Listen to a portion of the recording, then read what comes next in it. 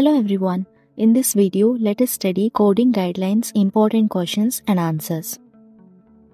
In your CPC exam, you will get 7 questions from coding guidelines section. You can see here this is your CPC exam pattern and from coding guidelines you will get 7 questions. So don't ignore this section.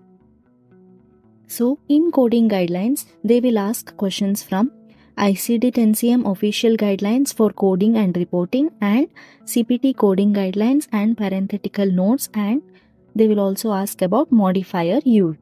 It will be multiple choice questions only. So now let's study the important questions. First question Which statement is true regarding the instruction for use of the CPT codebook? Option A An unlisted code when a procedure is modified. Option B Parenthetical instructions define each code listed in the codebook. Option C Select the name of the procedure or service that most closely approximate the procedure or service performed. Option D Select the name of the procedure or service that accurately identifies the service performed. So, can you think of the right answer? The right answer is option D.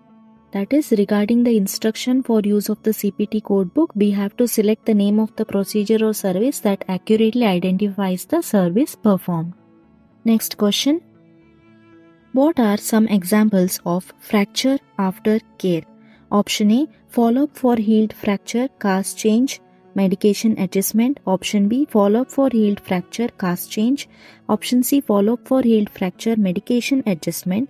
Option D Cast change, medication adjustment. So the question is about example of fracture after care. So it won't be healed fracture, right? It won't be follow up for healed fracture. So our right answer will be option D. That is cast change, medication adjustment, which is for fracture after care. Next question.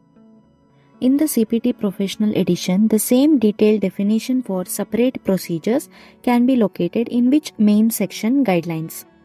Option A E&M surgery and medicine option B medicine radiology surgery option C radiology surgery pathology and laboratory option D cardiovascular system radiology and medicine so the right answer will be option B that is medicine, radiology and surgery.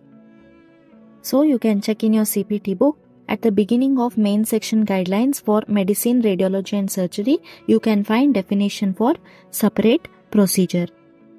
Next question. The semicolon is used in the CPT book to save space. Words following the semicolon can specify which of the following Option A Extent of the service modifier specific anatomic site.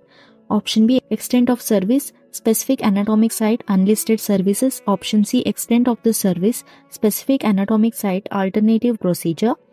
Option D Unlisted services alternative procedure specific anatomic site. The right answer is option C Extent of the service specific anatomic site alternative procedure. Which place of service code should be reported on the physician's claim for surgical procedure performed in the ASC? So, in this question, they are asking about place of service code. So, where will you find the place of service code in your CPT book?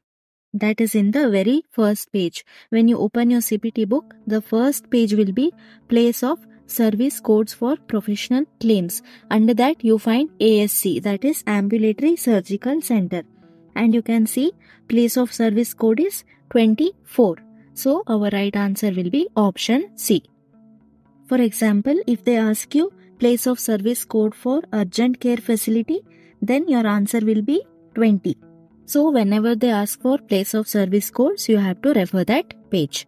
So here our answer is option C 24 for ambulatory surgical center.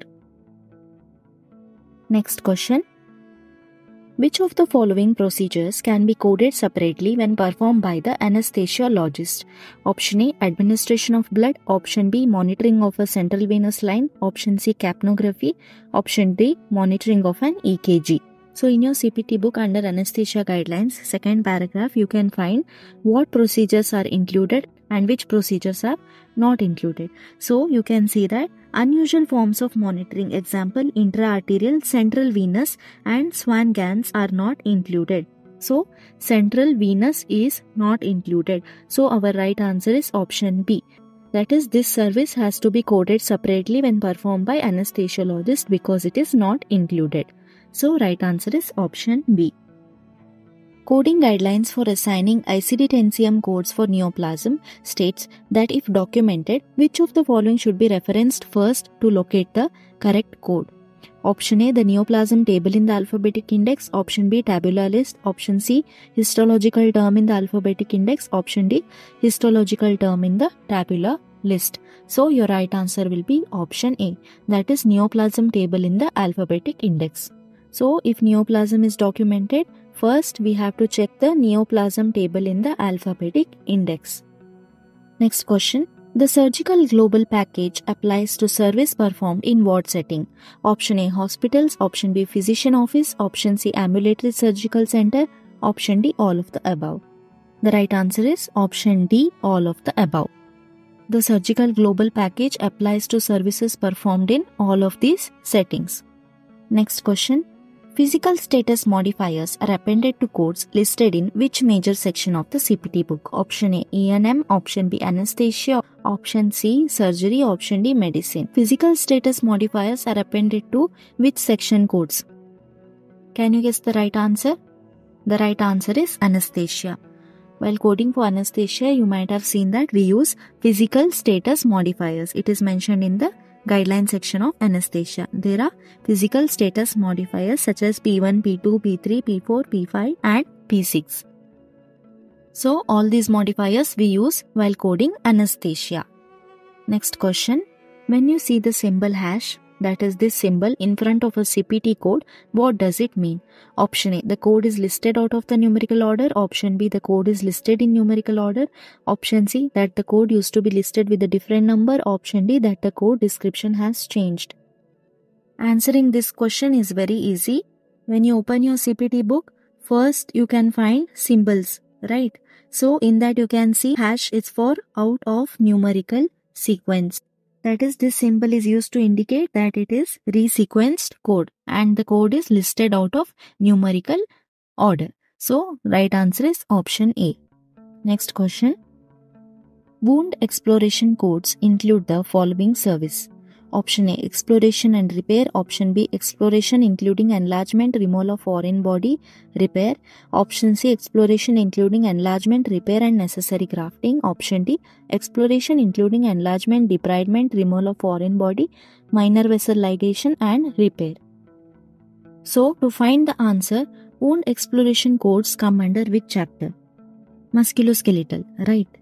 So, if you don't know it comes under which chapter, the simple trick is go to the index of your CPT book and find the term wound. Under wound, you can find exploration. So, under that, you will get the code range 20102, 20101 they have mentioned. So, directly go and check this code range. So, above that, you will find wound exploration guideline. So, in that, they have mentioned exploration, enlargement, extension of dissection, debridement, removal of foreign body, minor vessel ligation and all that. So it is matching with the option D. So option D is the right answer. Next question. How is an endoscopic diagnostic bronchoscopy coded if it is performed by the same physician during the same session as a surgical bronchoscopy? Option A 31622, option B 31624, option C 31625, option D surgical bronchoscopy includes diagnostic bronchoscopy when performed by the same physician in the same session. So if you get confused, directly go to this code range in your CPT book and above that you will find the guideline for endoscopy that is surgical bronchoscopy always includes diagnostic bronchoscopy when performed by the same physician. So our right answer is option D. In the next video, we'll solve some more questions related to coding guidelines, so stay tuned.